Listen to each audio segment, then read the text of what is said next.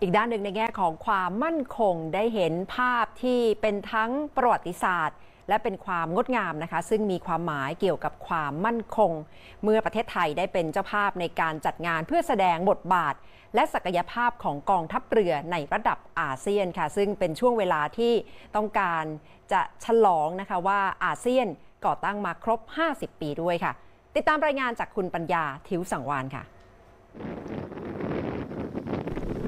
เรือรบที่ลอยลำอยู่ในหน้าน้ำทะเลอ่าวไทยจังหวัดชนบุรีกว่า 40 ลำจาก 20 ประเทศ ที่หมายรวมถึงประเทศไทยด้วยนั้น แน่นอนว่าภาพภาพนี้ต้องถูกบันทึกไว้เป็นประวัติศาสตร์ชาติไทย ที่กองทัพเรืออาเซียน ต่างเข้าร่วมแสดงศักยภาพ ผ่านงานมหกรรมทางเรือนานาชาติ หรือการสวนสนามทางเรือ ในโอกาสครบรอบ 50 ปี การก่อตั้งอาเซียน ซึ่งไทยเป็นเจ้าภาพ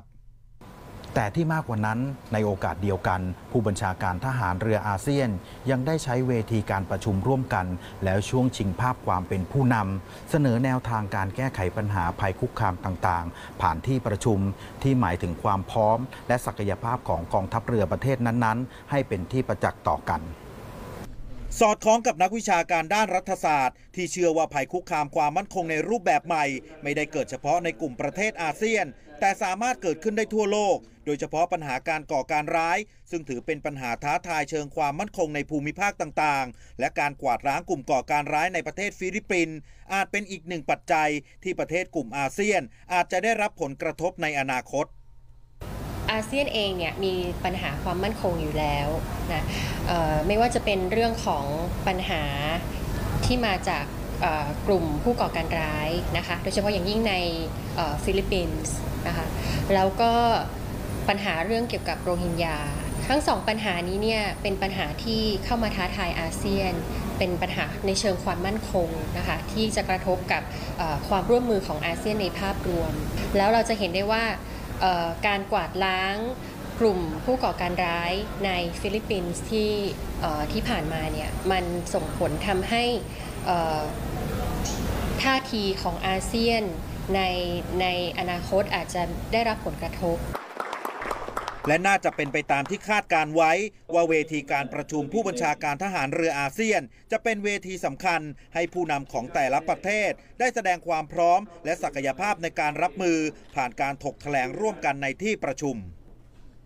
ก่อนหน้านี้อินโดนีเซียเคยเสนอจัดตั้งศูนย์บรรเทาภัยพิบัติทางทะเล หรือศูนย์ช่วยเหลือทางด้านมนุษยธรรมอาเซียนอินโดนีเซีย หรืออย่างสิงคโปร์ก็เคยประกาศเสมือนจะแย่งชิงความเป็นผู้นำในการจัดตั้งศูนย์แลกเปลี่ยนความร่วมมือทางทะเล และมีกลุ่มประเทศในอาเซียน ที่จะร่วมส่งทหารเรือไปประจำการอยู่ที่สิงคโปร์ซึ่งไทยก็เป็นหนึ่งในประเทศที่ส่งทหารเข้าร่วมประจำศูนย์ด้วย ถ้าพูดถึงในภาพรวมงานมหกรรมทางเรือนานาชาติ ที่ไทยเป็นเจ้าภาพในครั้งนี้ ภาพสะท้อนแรกคือมิตรประเทศ ที่จะเดินเคียงข้างกับกองทัพเรือไทยและประเทศไทย ในทุกวาระนับจากนี้ไปครับในขณะเดียวกัน ไทยย่อมได้รับความร่วมมือจากนานาประเทศ ในกลุ่มอาเซียน เพื่อรับมือกับภัยคุกคามทุกรูปแบบ โดยเฉพาะภัยคุกคามทางทะเลที่กำลังเป็นปัญหาส่งผลกระทบในภาพกว้าง อย่างคลื่นยักษ์ซึนามิ ที่กองทัพเรืออาเซียนต้องร่วมมือกันแจ้งเตือน หรือแม้แต่หากเกิดปัญหากับประเทศใดประเทศหนึ่ง ยอมต้องร่วมมือกันแก้ไขปัญหา เยียวยาและฟื้นฟู และอีกปัญหาที่ต้องรับมือร่วมกัน คือกรณีชาวโรฮิงญาที่ใช้ช่องทางทางทะเลในการเดินทาง จากประเทศหนึ่งไปยังอีกประเทศหนึ่ง แม้ว่าปัจจุบันจะเปลี่ยนการเดินทางเป็นทางบกแล้วก็ตาม แต่กองทัพเรืออาเซียน อย่างไทย มาเลเซีย อินโดนีเซีย พม่า และศรีลังกา จะต้องช่วยกันแก้ไขปัญหา ในฐานะประเทศต้นทาง และทางผ่านของชาวโรฮิงญา เมื่อเรามองว่ามันเป็นปัญหาภายในของพม่า แล้วเราไม่ยอมรับว่าเราจะ securitize ปัญหาเหล่านี้ร่วมกัน คือไม่ยกระดับปัญหานี้ให้มันเป็นปัญหาของภูมิภาคของเรา มันทำให้มันทำให้การที่จะเข้าไปจัดการกับปัญหานี้ลำบากมากขึ้นนะคะ ถ้าเกิดว่าเรามองเราบอกว่าการการที่โรฮิงญาเป็นปัญหาของพม่า และไม่ได้เป็นปัญหาของคนอื่น ๆ เลย พม่าจำเป็นที่จะต้องจัดการโดยลำพัง แต่ ในขณะเดียวกันรัฐอื่น ๆ ที่อยู่ภายนอกภูมิภาคอาเซียนเอง ก็มองว่ามันไม่ได้เป็นแค่ปัญหาภายในของพม่าเท่านั้น มันเป็นทั้งปัญหาของภูมิภาค และเป็นทั้งปัญหาในระดับโลกด้วย